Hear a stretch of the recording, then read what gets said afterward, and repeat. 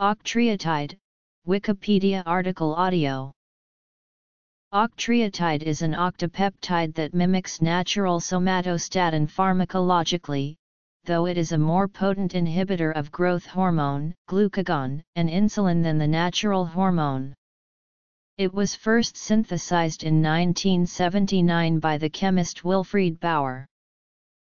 Medical uses Tumors Bleeding esophageal varices. Radiolabeling Acromegaly. Gastrointestinal fistulae.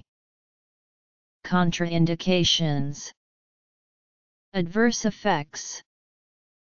Overdose. Interactions. Pharmacology. Pharmacokinetics. Research Obesity Octreotide is used for the treatment of growth hormone producing tumors, when surgery is contraindicated, pituitary tumors that secrete thyroid-stimulating hormone, diarrhea, and flushing episodes associated with carcinoid syndrome, and diarrhea in people with vasoactive intestinal peptide-secreting tumors. Octreotide is often given as an infusion for management of acute hemorrhage from esophageal varices and liver cirrhosis on the basis that it reduces portal venous pressure, though current evidence suggests that this effect is transient and does not improve survival. Octreotide is used in nuclear medicine imaging by labeling with indium-111 to non-invasively image neuroendocrine and other tumors expressing somatostatin receptors. More recently, it has been radiolabeled with carbon-11 as well as gallium-68, enabling imaging with positron emission tomography, which provides higher resolution and sensitivity. Octreotide can also be labeled with a variety of radionuclides, such as yttrium-90 or lutetium-177, to enable peptide receptor radionuclide therapy for the treatment of unresectable neuroendocrine tumors. Octreotide can also be used in the treatment of acromegaly, a disorder of excessive growth hormone.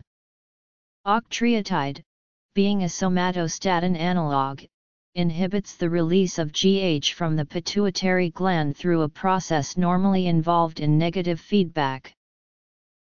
Octreotide helps in management of the fistula by reducing GI secretions and inhibiting GI motility, thus controlling and reducing its output. The value in healing intestinal fistulas is yet to be proven and routine use is limited because of the side effects. Octreotide has not been adequately studied for the treatment of children and pregnant and lactating women. The drug is given to these groups of patients only if a risk-benefit analysis is positive.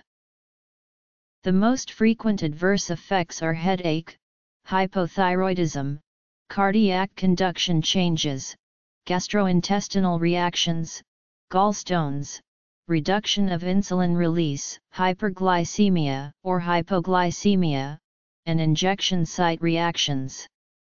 Slow heart rate, skin reactions such as pruritus, hyperbilirubinemia, hypothyroidism, dizziness, and dyspnea are also fairly common.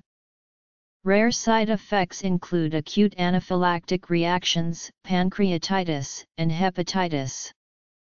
One study reported a possible association with rheumatoid arthritis.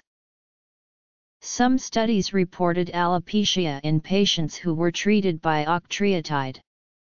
Rats which were treated by octreotide experienced erectile dysfunction in a 1998 study. A prolonged QT interval has been observed in patients, but it is uncertain whether this is a reaction to the drug or part of the patient's illnesses. Octreotide is useful in overdose management of sulfonylurea type hypoglycemic medications, when recurrent or refractory to parenteral dextrose. Mechanism of action is the suppression of insulin secretion. Octreotide can reduce the intestinal resorption of cyclosporin, possibly making it necessary to increase the dose. Patients with diabetes mellitus might need less insulin or oral anti-diabetics when treated with octreotide. The bioavailability of bromocriptine is increased, besides being an anti-Parkinsonian, bromocriptine is also used for the treatment of acromegaly. Since octreotide resembles somatostatin in physiological activities, it can.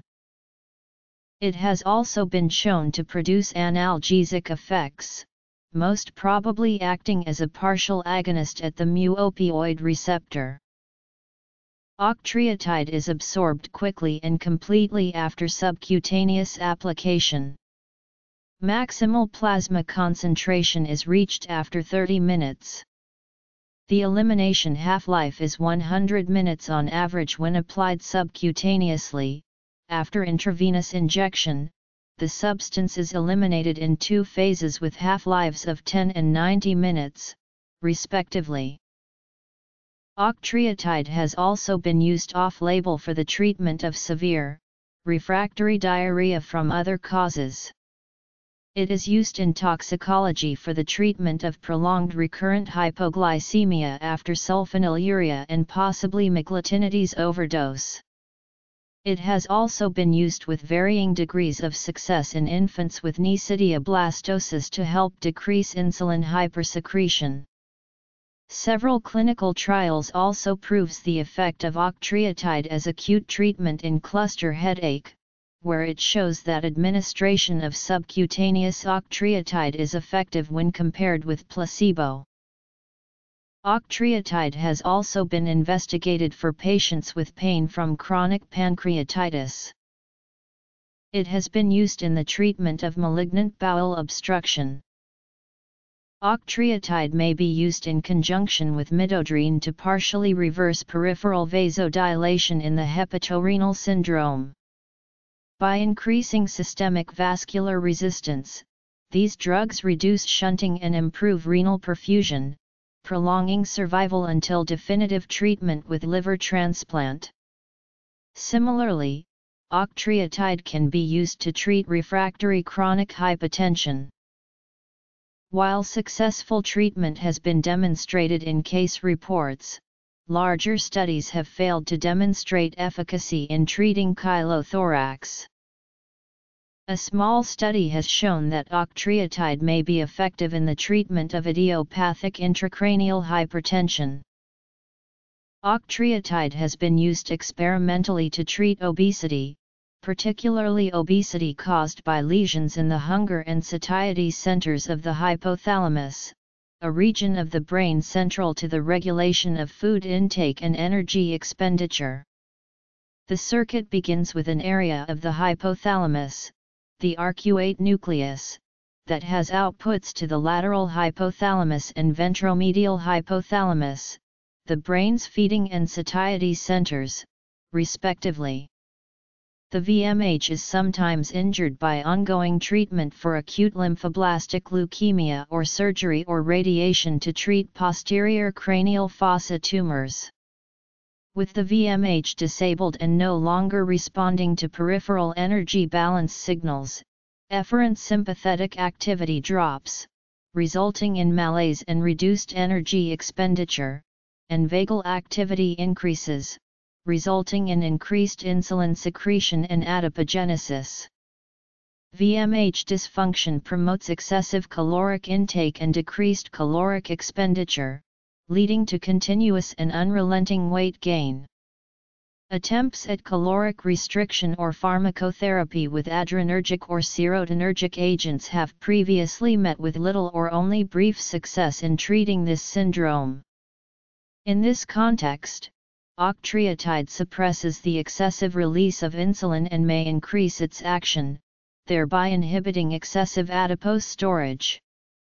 In a small clinical trial in 18 pediatric patients with intractable weight gain following therapy for ALL OR brain tumors and other evidence of hypothalamic dysfunction, octreotide reduced body mass index and insulin response during glucose tolerance test, while increasing parent-reported physical activity and quality of life relative to placebo.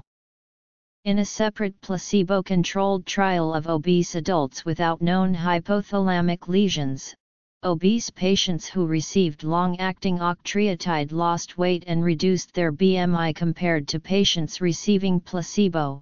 Post hoc analysis suggested greater effects in patients receiving the higher dose of the drug, and among Caucasian patients having insulin secretion greater than the median of the cohort. There were no statistically significant changes in QOL scores, body fat, leptin concentration, Beck depression inventory, or macronutrient intake, although patients taking octreotide had higher blood glucose after a glucose tolerance test than those receiving placebo. Inhibit secretion of many hormones, such as gastrin, cholecystokinin, glucagon, growth hormone, insulin, secretin, pancreatic polypeptide, TSH, and vasoactive intestinal peptide, reduce secretion of fluids by the intestine and pancreas, reduce gastrointestinal motility and inhibit contraction of the gallbladder, inhibit the action of certain hormones from the anterior pituitary, cause vasoconstriction in the blood vessels, and reduce portal vessel pressures in bleeding varices.